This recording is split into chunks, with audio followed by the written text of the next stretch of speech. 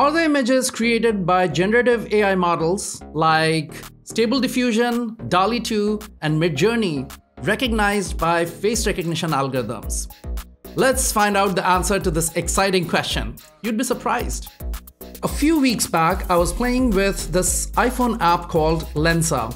In Lensa, you can upload 20 or 30 pictures of yourself and get very creative results like the ones that you're looking here. So these are all pictures of me that Lensa has generated automatically without any intervention. Now you can see that there are various kinds of images. You know, they some of them look like me, some of them don't quite always look like me. For example, this image right here, uh, it's debatable whether it looks like me. But the funny thing is that all these images, all these images were recognized by Google Photos uh, as that of me. So if you look at this uh, browser here, these pictures are basically when I type in Satya Mallick on my Google Photos, all these images also show up along with the rest of my personal images, which is quite fascinating. Now, it seems that these generative AI models are doing a very good job of preserving certain attributes of a human face which are good for recognizing them as the person. So even though, you know, in some of these photos, uh, you can see that, you know, I, I look thin, I look different, um, but all of these photos are recognized as Satya Mallick. Now, what I don't understand is some of these photos are extremely uh, different and there is no way they should have been recognized as Satya Mallick. For example, this photo doesn't even have the face. I don't know what Google is doing in this case because I checked the metadata Lensa doesn't insert any metadata that says that this is Satya Mallick. And, you know, uh, even if you look at the body type, these pictures do not look like me, but they were generated by Lensa as me. They apparently look like me, but they don't. The funny thing is that Google does recognize these images as Satya Mallick, which is very, very funny. Anyways, so this picture also doesn't look like me, but Google recognizes this as me. Anyways, so I decided to take this a step further. Do these images also get recognized by a state of the art face recognition algorithm like OpenCV face recognition?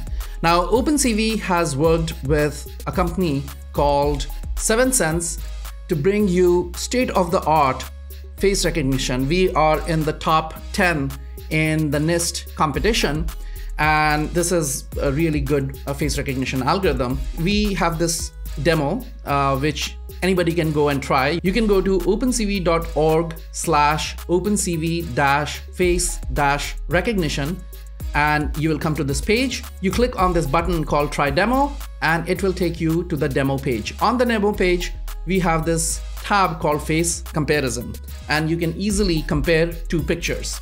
Before we analyze how good OpenCV face recognition does on generative AI model images, let's look at how good OpenCV face recognition actually is. So we are going to upload some pictures of doppelgangers. So these are pictures that I downloaded from the internet uh, articles about doppelgangers. So you can see that these two people are doppelgangers. They look very similar to each other. Now, can OpenCV face recognition tell them apart? Let's try it. So we are going to upload this picture and then compare it to another picture right here of the doppelganger. And let's wait. If the score is above 66, it will say it is matched.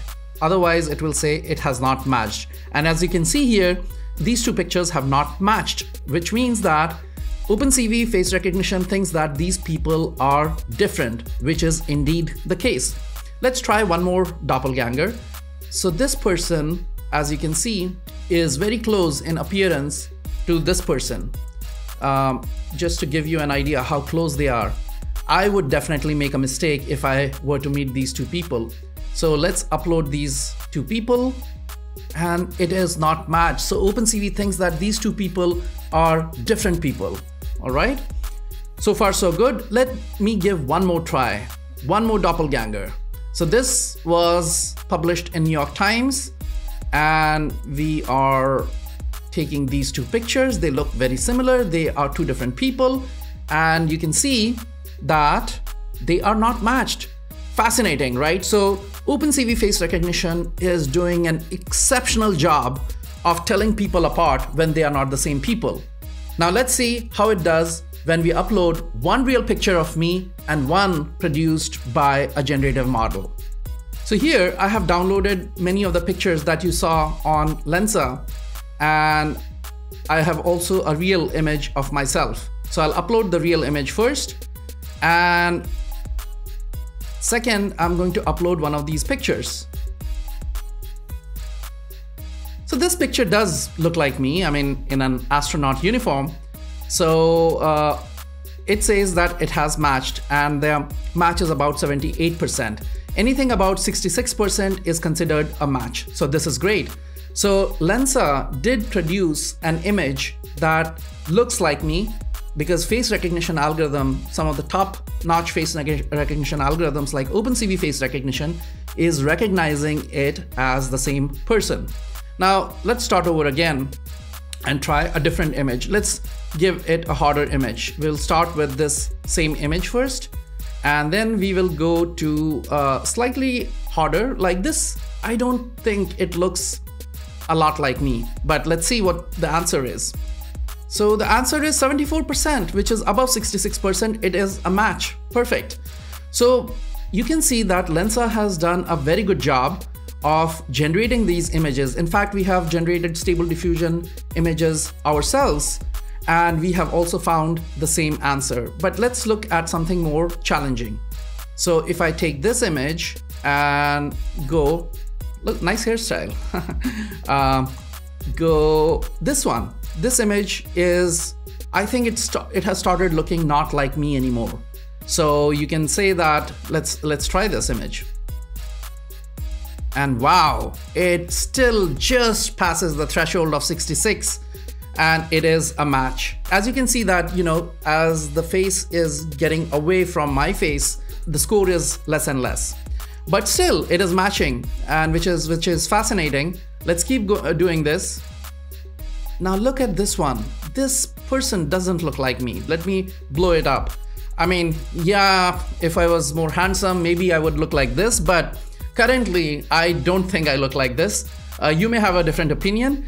Definitely generative models have this opinion that I could look like this under certain circumstances.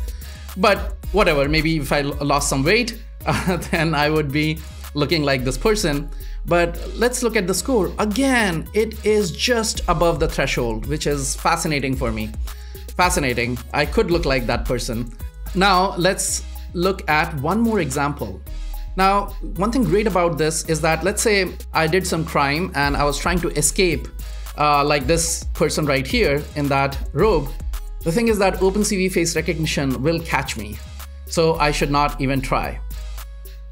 Okay, now let's try to see the crazy images that Google was saying are me, whether they actually are me according to OpenCV face recognition. So we'll upload my original picture and then we'll find those crazy pictures. One of them is here. No, not this one. Look at this. How can that picture be me under any circumstances? I hope OpenCV face recognition doesn't say that this picture is me. Waiting. All right. Finally, we have something that doesn't look like me in my opinion and OpenCV face recognition also says that it doesn't look like me. Great. Now, there is one other thing that I want to try and that would be the last one. So let's try this image and something which was on the boundary in my opinion. So this one, this one was close enough. This was 66%. Let's try this image. Again, I don't think I look like this at all. Uh, so let's see. I hope there is not a match. All right, it's not a match.